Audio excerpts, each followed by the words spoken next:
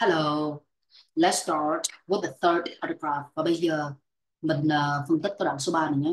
As the name suggests, suggest, shall demonstrate, speak for itself.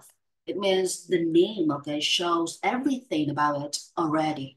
When you hear the name, when, when you hear this name, you already know what it is about. So that is, as the name suggests. As, so what is the name in this case? We want to talk about the step wells as the name of the step well suggests. So when you look at the paragraph, you look at the first sentence, and when you look at the first sentence, but you don't know what it is about, you look at the first sentence of the previous paragraph. Như vậy khi mình đọc một cái đoạn văn tự nhiên cái cái câu đầu tiên đó, nó mơ hồ quá thì cái câu đầu tiên của đoạn văn được gọi là câu chủ đề topic sentence mà mình đọc cái câu chủ đề của đoạn này nó mơ hồ quá, thì bây giờ mình đọc cái câu chủ đề của cái đoạn trên để coi nó nói về cái gì. Thì cái câu chủ đề của đoạn trên unique to these regions that wells are often architecturally complex. Thì câu đầu tiên của cái chủ, câu chủ đề của cái đoạn trước đây nó đang đề cập đến cái chủ ngữ step wells thì ở đây nó đang dùng từ there thì một trong một trong nó đang nói là oh as the name step wells suggests đây là đang đánh lạc hướng mình nó đang confuse mình nhưng mà đừng sợ nhé, mấy bạn đọc câu đầu tiên của đoạn này mấy bạn không hiểu thì mấy bạn hãy đọc cái câu đầu tiên của đoạn ngay trước đó thì mấy bạn sẽ ra được cái hint, sẽ ra được cái gợi ý để mình nắm được là nó đang nói chính xác về cái gì. As the name suggests, as the name step wells speaks for itself. When you hear the, when you hear the name step wells, you easily know what it is about. Như vậy, as name cái gì đó suggest có nghĩa là cái tên nó nói lên được tất cả mọi thứ rồi khi bạn nghe được cái tên này thì mấy bạn biết được biết được những gì mà tôi sẽ sắp sửa sẽ đề cập thì cái cấu trúc as the name suggests, as the name shows, as the name demonstrates itself, as the name speaks for itself như cái tên trình bày toàn bộ cái ý nghĩa. Step wells comprise a series of stone steps. Step wells include many stone steps. The, the wells has lots of steps and those steps are made of stones comprise include a series of, a lot of simply is that, right? Stepwells include many steps which are made of stones. Như vậy cái câu đầu tiên thì nó quá dài, đúng không? Ở đây mình thấy cái từ comprise thì mình nhớ đến nghe cái từ include liền. Cái gọi là cái giếng bậc thang, nó bao gồm một cái nhiều cái cái bậc, ok, được làm bằng đá, bậc đá. Thì bây giờ mình đi hết cái câu này để mình qua được cái hình nha. Descending from crowd level to the water source. Descend descend descending. Going down go down to the well. But if you want to go down to the well you need to go down from the crowd level to get to the bottom of the well. That is the water source okay? That that is the water source layer. Như vậy ở đây nói về cái giếng cái nói về cái step well thì mình sẽ nói về cái miệng giếng trước. Cái miệng giếng được gọi là crowd level crowd được gọi là cái tầng tầng ở trên mặt đất ok chứ phải là cấp độ nha. Tầng ở trên mặt đất cái từ tầng ok tầng hoặc là lớp người ta sẽ có từ aquifer hoặc là từ layer. Như vậy cái tầng ở trên mặt đất thì được gọi là cái miệng giếng và cái uh, gọi là cái tầng ở đáy ở đáy của cái giếng gọi là the bottom of the well. Cái đáy của cái giếng thì được gọi cái đáy của cái giếng ok. Thì mình có thể nói là the water source có nghĩa là cái nguồn nước như vậy khi mà mình chạm đến đáy của giếng thì mình sẽ khai thác được nguồn nước. Thì mình đang nghe đến cái từ exploit là từ khai thác. Bây giờ mình đi vào trong cái câu này lại nhé. Let's get back to the sentence again. Step wells comprise a series of stone steps descending from crowd level to the water source.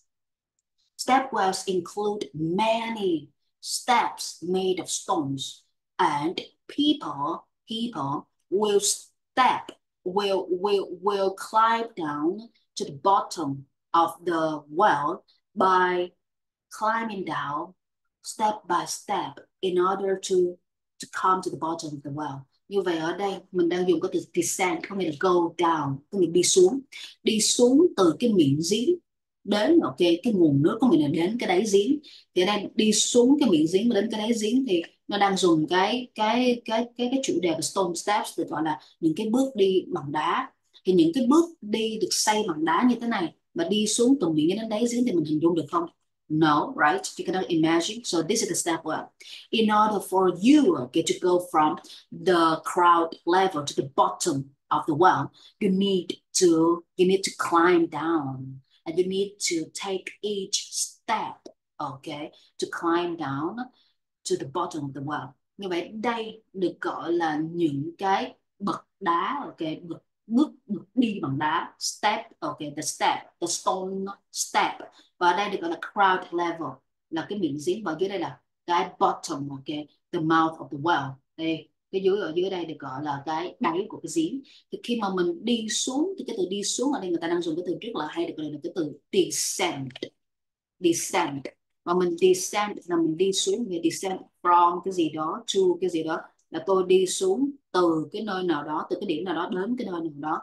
Và ngoài descend ra thì đơn giản là go down from, go down from hoặc go down to cái gì đó là tôi đi xuống dưới cái gì đó. Ở đây là mình đi xuống dưới cái đáy giếng thì bây giờ mình đi xuống bằng cách nào? Mình đi xuống bằng cách là mình bước lên trên tầng bậc. Thì bây giờ nó làm sao bước lên trên tầng bậc? I step on each step in order to get down to the bottom. Như vậy cái từ step được dùng như là tầng bậc ở cái cái bậc cái bậc bậc ở cái bậc đi hoặc là bước đi. Và cái từ step cũng được được dùng như là cái từ được gọi là mình đi vào cái từng bước, đi từng bước. I step on each step to get down to the bottom. Như vậy tôi đi lên trên bậc ok tôi đi trên tầng bậc để đi xuống dưới cái đáy của cái giếng. Là như thế. Và tiếp theo, let's get back to the paragraph. Normally an underground aquifer normally an underground layer so let's okay let's read this sentence again as the name suggests Step wells comprise a series of stone steps. As the name step wells speaks for itself, as the name step wells shows us that this well is made from lots of steps inside it. The step wells include many steps made of stones, and these stone steps will help people to okay to take each step to descend from the crowd level to the bottom of the well to get water source. And the water source, where does the water source come from? The water source comes from the underground layer. Như vậy nguyên câu này nó chỉ có nghĩa là như cái tên ok, như cái tên nó chứng minh hoặc là như cái tên Stepwell, nó đã nói rõ ra được cái bản chất, ok, cái cái bản chất của cái giếng này là cái giếng bậc thang. Thì cái giếng bậc thang nó bao gồm comprise được gọi là bao gồm, giếng bậc thang nó bao gồm hàng loạt cái bước, ok, cái bậc được làm từ đá. Như vậy giếng bậc thang bao gồm hàng loạt bậc được làm từ đá và những cái bậc, ok, những cái bậc đá này đi từ, ok, đi đi từ đi từ miệng giếng xuống dưới đáy giếng và để lấy được cái, để khai thác được cái nguồn nước, water source thì cái nguồn nước này. Bây giờ người ta muốn giải thích cái nguồn nước này lấy từ đâu? Thì cái nguồn nước này cũng được, thông thường được gọi là normally an underground aquifer. Thông thường được gọi là cái lớp ở cái cái tầng hoặc cái lớp, cái cái tầng cái tầng cái tầng dưới lòng đất an underground aquifer. As it recedes following the rains. It recedes. It means it here, it, it is about the stone steps. The stone steps will recede. The stone steps will disappear. The stone steps will, will fade away when, when it comes to the rains. So let's check out the, the picture. You can see that this is also a well and these are lots of stone steps. And when it rains, the water is going to fill up the well. And when there is a lot of water inside the well, you cannot see, okay, you cannot see the steps anymore because the water is gonna make is gonna make the steps fade away, disappear. Như vậy khi mà mình nhìn vào một cái giếng thì mình thấy nhiều bậc thang đúng không? Nhưng mà khi mà trời mưa xuống, when it rains, thì cái nước ở cái nước của nước mưa đó, nước mưa nó sẽ làm đầy cái miệng giếng, làm đầy cái giếng nha. The water is gonna fill up the well. Khi nước làm đầy giếng thì nước từng lúc từng lúc thì nó sẽ dâng lên. The water is gonna rise up bit by bit. Và khi nước dâng lên thì những cái bậc thang ở phía dưới này nó sẽ bị mờ đi mà mình không thấy được. Thì cái cái cái động từ nó là mờ đi ấy, nên đang dùng cái động từ được gọi là recede. Recede recede. Có nghĩa là từng bước từng bước nó sẽ mờ đi. Fade away. Nó mờ đi nó biến mất disappear. Ở đây những cái stone steps nó sẽ recede khi mình rains ok khi mà nó mưa xuống, nước ok nó sẽ dâng lên từ từ the water is gonna rise bit by bit, and the water is gonna fill up the well. Nước dâng lên từ từ rise bit by bit, và nước ok nó làm đầy cái giếng, fill up the well. Và khi nước làm đầy giếng, nước dâng lên từ từ thì mình đâu còn thấy những cái bậc thang nữa. Những những cái bậc đá nữa, giống như đây. Nước ở dưới đây thì đâu còn thấy những cái bậc đá dưới đó nữa. Thì đó lý do tại sao mà ở trong cái đoạn này nó ghi là, as the recedes following the rains. Eight as the step as the stone step. Fade away when it rains. Yeah it is the meaning of it.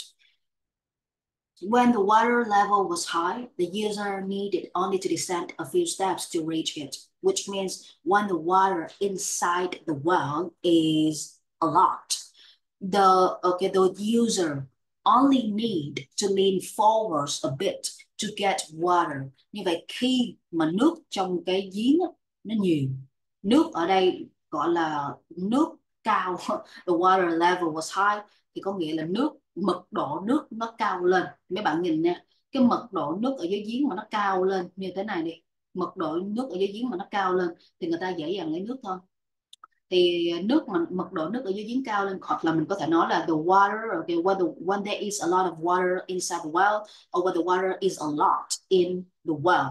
Như vậy khi nước mà nó nhiều hoặc là khi mật độ nước nó cao lên the user needed only to descend a few steps. The user only need only to to again to lean forwards to lean forwards a few steps. Như vậy khi mà nước nó cao lên khi mật độ nước nó dâng lên hoặc khi nước nó nhiều ở trong giếng thì cái người dùng đó, người sử dụng đó, chỉ cần chỉ cần gọi là chỉ cần mình ờ, mình khom người xuống nè mình khom người xuống chút xíu qua một vài bước thôi thì mình có thể lấy được nước reach có nghĩa là nắm được lấy được nắm bắt được lấy được nước. Và it ở đây được gọi là nó thay thế cho cái từ water trong cái câu này.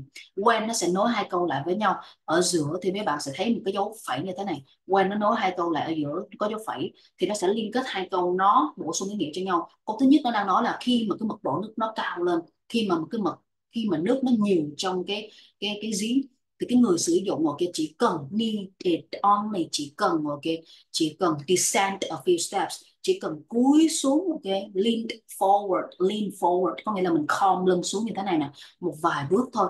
Check out the picture. Let's look at the two children in, in this picture. This, this boy just lean forward a bit to get the water inside the well. And he just lean forward a few steps okay? Steps of uh, this is the first step of the well. Vậy mấy bạn nhìn vào cái bức tranh này mấy bạn thấy nè cái uh, gọi là cái cái step cái cái bậc cái bậc đá thứ nhất là cái bậc đá của cái giếng này người ta người ta người ta xây cái bậc đá, cái cái bậc đá ở cái nó cách xa nhau và cái bậc đá nó nhô lên cái chút xíu vào kìa. Và cái bậc đá của cái cái cái, cái giếng này á là đầu tiên thôi nha cái bậc đầu tiên thì cái đứa trẻ này nó chỉ cần nó chỉ cần khom lưng một chút xíu thôi. Thì nó qua được cái bậc đầu tiên là nó đã lấy được nước rồi này, này. thì cái từ khom lên trong tiếng Anh đầu tiên mình khom lên chút xíu thì gọi là lean forward. We just lean forward just a bit okay to get the water from the well. The user needed only to descend a few steps to reach it. Mà cái cấu trúc này thì cái mình có thể mường tượng đến cái cấp thứ hai là the, the user needed only to walk down only a few steps inside the well to get the water.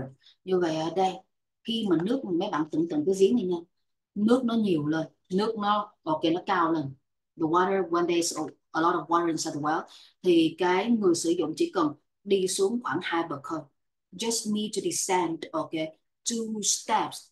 The user only need to descend two steps to get the water như vậy mình chỉ cần đi xuống khoảng hai bậc thôi, hoặc mình chỉ cần reach xuống một cái reach down, một cái reach down two steps. Mình chỉ cần reach down, mình chỉ cần come xuống một cái với với với xuống hai bậc thôi là mình đã lấy được cái nước. Thì cái với ờ, ở okay, cái mình dùng tay mình với xuống là mình sử dụng từ reach trong tiếng Anh. Mình vừa với mình với cái gì đó mình nắm bắt cái gì đó mình bắt được cái gì đó thì mình sử dụng từ reach. Vậy chỉ cần reach down two steps là mình có thể lấy được nước. Nếu mà nước nếu mà cái giếng này nước này thì đây là cái cấu trúc của cái nghĩa của cấu trúc của cái câu này the user needed only to descend a few steps to reach it to reach water. The, the user needed only to descend, okay, two steps or just three steps needed only to walk down three steps inside the well to get water.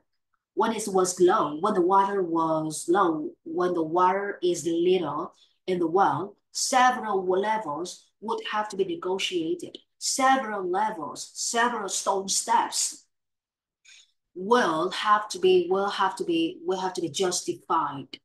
Ở đây nó dùng từ negotiated. It's not about money, it's not about profit. Từ negotiate ở đây được gọi là được gọi là thỏa thuận.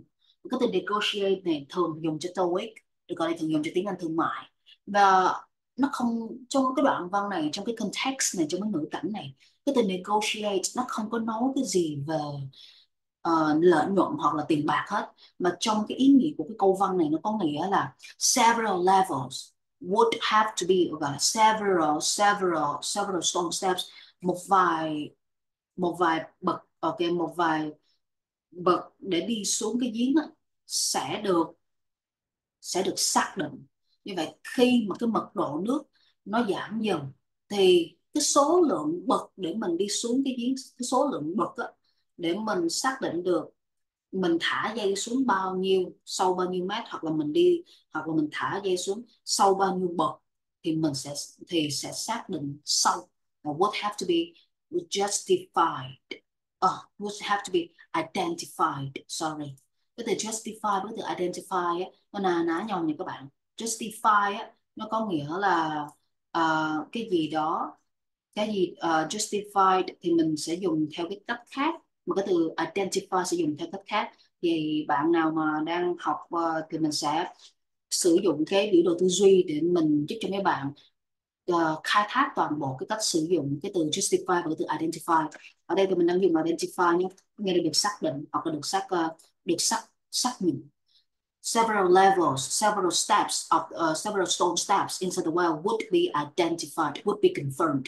When it was low, when the water inside the well was little. Như vậy khi mà cái mật độ nước ở trong cái giếng á, nó thấp, khi mà nước ở trong giếng nó nó ít quá thì cái several levels đây được gọi là những cái cấp độ một vài cấp độ sai nó cái level ở đây nó đang nói cái stone cái step stone có nghĩa là một vài ok những cái những cái bậc đá những cái bậc đá sẽ được xác định như vậy khi mà nước ở khi mà nước ở bên trong cái giếng mà nó thấp ở dưới nó nó nó ở dưới sâu quá thì bây giờ người ta muốn biết được rằng là người ta người ta sẽ thả dây sau bao nhiêu mét Okay, how how long would you draw the rope in order to get the water? Mình thả dây sau bao nhiêu mét hoặc là how how how many steps should I take in order to in order to get the water? How how many steps should I should I make okay to go okay to to to go down into the well to get the to get the water? Như vậy mình phải đi xuống bao nhiêu bậc để mình lấy được nước thì ở đây nó dần dùng cái có cấu trúc là cái cái từ là cái khúc này là several levels được gọi là the number of steps would be identified. The số lượng bậc số lượng bậc số lượng bậc đá sẽ được xác định khi mực nước thấp. Như vậy khi mà cái mật độ nước đó, nó quá ít đi thì cái số lượng bậc ok ờ, số lượng bậc đá sẽ được xác định rõ ràng để cho người sử dụng for the user để cho người sử dụng nắm được là mình sẽ đi xuống bao nhiêu bậc để mình lấy được cái cái nước ở dưới đáy, hoặc là mình sẽ thả đi xuống sâu bao nhiêu bậc để mình lấy được cái nước ở dưới cái, nước ở dưới cái đáy giếng. Thì đây là cái cách mà người ta estimate, ok, estimate estimate cái cái chiều cao, ok, cái cái chiều, cái cái độ sâu, ok, của của cái giếng, ok, để người ta lấy nước. Alright. Và đó là cái đoạn thứ ba này. Thanks a lot for watching my video check out okay, the fourth video of the, of the fourth paragraph. Và khi mà mấy bạn uh, học như thế này có nghĩa là mấy bạn sẽ tìm hiểu sâu từng câu từng đoạn. Chứ không phải là mình chơi những cái mẹo những cái chiêu mình nhìn vào câu hỏi và mình tìm cái cái khúc nào mà nó trong cái câu hỏi. Thì nhìn câu hỏi tìm cái thông tin nào mà nó phù hợp trong câu hỏi là đúng. Nhưng mà đôi lúc mình sẽ bị cái cảnh là đi thi á cái chú tâm vào cái cái từ nào trong cái câu hỏi mà tìm hoài đâu thấy cái từ đâu đâu. Thực tế là tìm hoài không thấy cái từ đâu luôn. Hoặc là nhìn cái câu hỏi đó mà bây giờ mình tìm được cái khúc đó mà mình đọc hoài mình không hiểu, là do là cái độ hiểu và cái cái khối lượng từ vựng của mình nó chưa đủ á. Mình tìm được cái chỗ là trong cái câu hỏi có cái từ này và trong cái bài đọc này nó có cái từ này thì chắc chắn cái khúc này nó đang trả lời cho cái câu hỏi này. Nhưng mà mình đọc mình đâu có hiểu. Thì ở đây đang gỡ ra từ cái gốc là sẽ giúp cho bạn thấy là mình đọc mình phải hiểu. Thì lúc mà mấy bạn tìm nếu như bạn nhìn cái câu hỏi nó có cái từ này và mấy bạn tìm được cái từ nó nằm trong cái khúc nào trong cái đoạn văn thì mấy bạn đọc đúng cái khúc đó thì mấy bạn sẽ hiểu. Và quan trọng nhất là đọc sao để hiểu từ vựng và cấu trúc sẽ giúp cho mấy bạn hiểu. Đó là lý do tại sao mà mình phải giải thích từng đoạn như thế này. Thanks a lot for watching my third video. Please uh, please wait for the fourth video.